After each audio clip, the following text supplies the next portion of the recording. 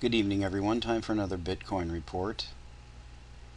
I finally made it past newbie status at the Bitcoin forum, and uh, they have a restriction because of so much spamming that they've been getting. You have to make five posts and be logged on for four hours. So I am now a junior member, and I can post. So I'm going to go ahead to the main forum and post this update. This is probably going to be two parts because I have a lot to cover. I wanted to first jump to my Bitcoin account here and you can see that someone donated to me a quarter of a Bitcoin. I really appreciate all the donations and these are all the Bitcoins I have to my name so I'm not a pump and dumper. I'm what you would call a late adopter so just interested in it. Uh, the more I explore it, the more interesting it seems. So there's a lot of critics, and as I've examined the critics' arguments, none of them really hold water. Arguments about how it's a Ponzi scheme. No, it's not really a Ponzi scheme.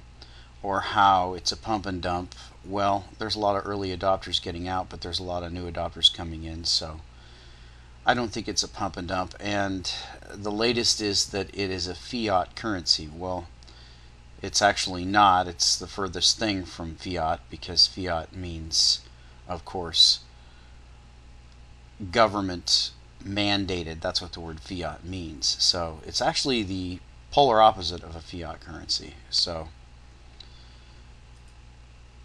anyway, I want to jump over to my BTC Guild account and I've been running my little 10 mega hashes a second on my onboard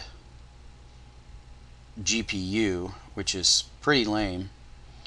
So you can see I have about add these together I may have almost 0.007, which would be almost one cent, which is the smallest amount you can withdraw. So I'm really uh, knocking it out here on my BTC Guild account. So I want to jump over to my Bitcoin Plus account, and you can see that I have over there about almost uh, Bitcoin cent there as well I wanted to thank all the people who have clicked on the link and generated payouts for me.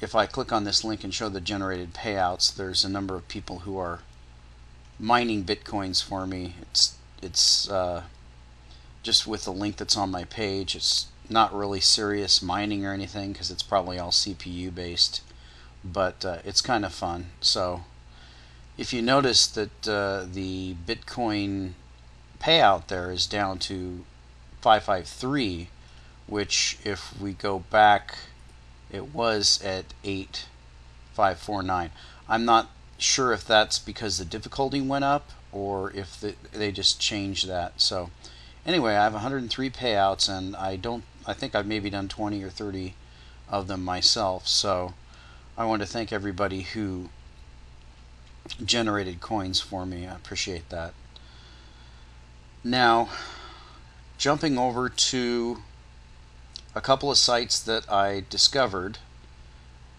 and the first one is about mining, and I found this very useful because I'm at the point where I'm researching mining.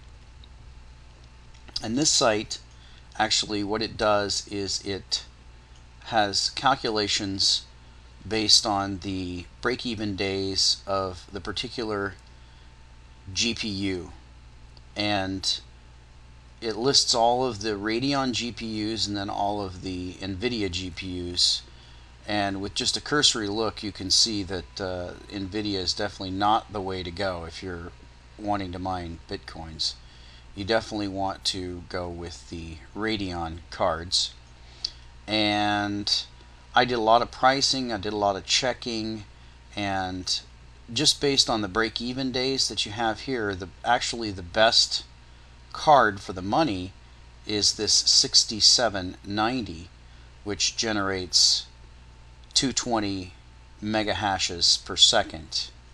So that's not the highest, but if you look at the price of the card, it's only about 140 bucks as opposed to this super high-end card, the 6990 and that card is very expensive but as you can see it generates 670 um, mega hashes a second. So that's the best card. So I went around and did a lot of pricing and I'm not the most sophisticated Linux user so I ended up settling on a site here and I actually ordered a rig just to play around with. It is a Athlon 2 with 2 gigs of RAM and a 500 meg hard drive, 700 watt power supply, running Ubuntu 10.10, and I ordered it with two of the 6970 cards that according to his estimate it should put out 730 megahashes per second so the other site that I discovered is one that allows you to calculate what your projected output would be and that's the Bitcoin mining profitability calculator. I'm not really doing this for profitability. Worst case scenario, I end up with a really good gaming machine. Best case scenario, the price of Bitcoins goes up and it still is profitable. But with the difficulty rising as it is, that may not be the case.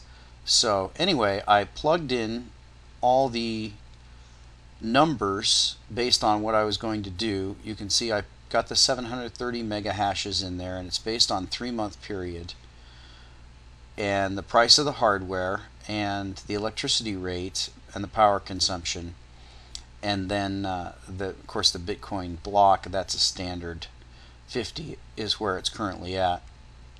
The conversion rate is the dollar value of bit current dollar value of bitcoins which by the way I want to check that right now real quick and just go straight to the Mt. Gox feed. It's 19.5 on the last trade so I put in 20 and that gives a revenue for the three months of $1,528 minus the power cost is 1344 so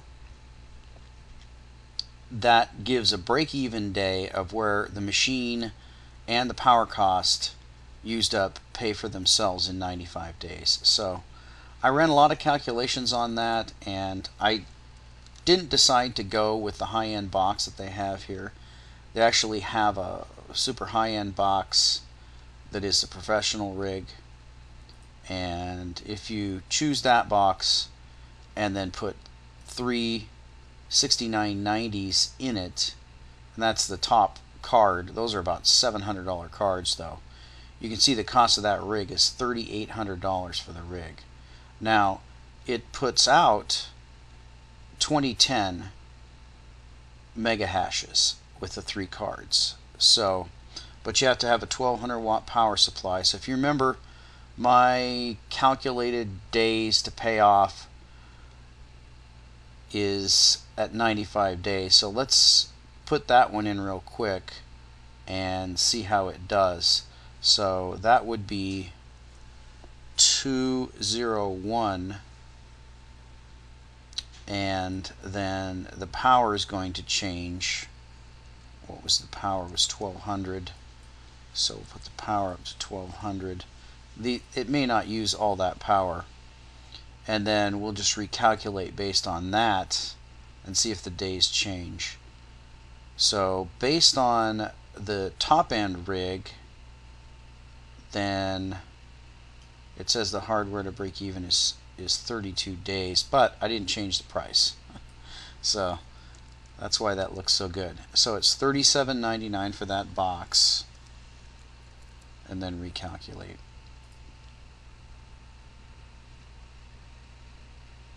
So that one's 89 days. So they're pretty close. I figured I'd just go with the cheaper model with two cards just to play around and just to see what I get. Sort of fun thing.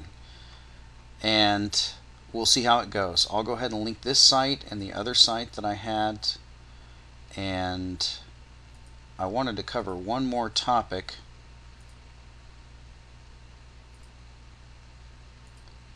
but I don't seem to have that so I'm going to go ahead and wrap it up. I am going to post now in the Bitcoin dis discussion thread because I have access to post new topics.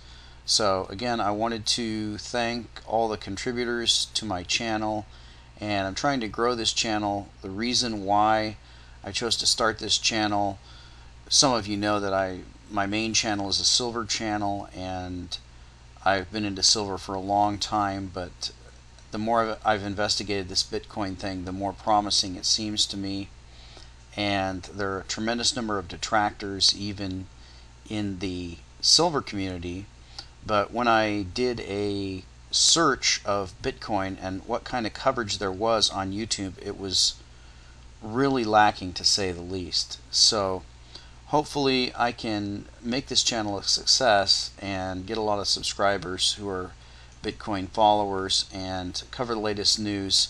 I didn't cover anything on the market today. I'll probably cover that next. We're pretty flat around 19 $20 and we'll talk to you next time.